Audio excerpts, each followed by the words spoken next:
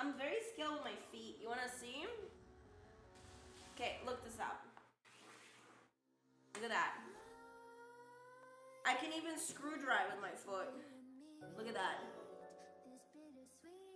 What are you making? Who needs four hands?